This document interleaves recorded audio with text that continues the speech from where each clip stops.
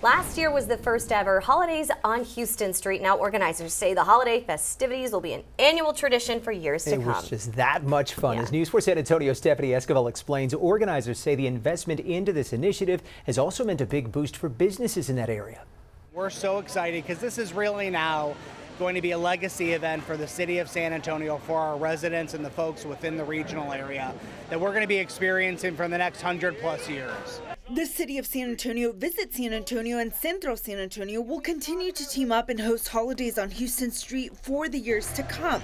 Right now, the festivities have a price tag of about $800,000. According to Assistant City Manager Lori Houston, none of that money is coming from taxpayers and is a much needed investment for businesses in the area. This is about downtown businesses getting, you know, a boost for Christmas.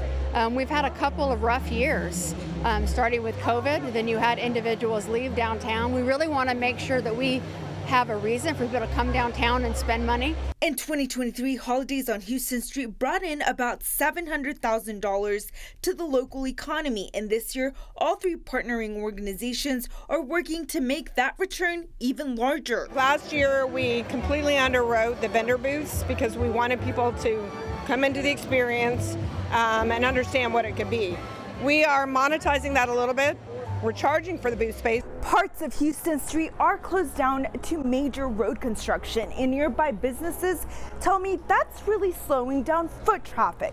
But last year, holidays on Houston Street gave them a spike in revenue. Last year was great with it. So we had a line out the door going around the building. Um, it was nonstop movement. I could barely keep up. Teresa Bowen, general manager of Cookie Plug San Antonio, says that additional revenue isn't only welcome, but desperately needed. Stephanie Esquivel, News 4 San Antonio. Thank you for watching. Please like and subscribe to get all the latest news right here.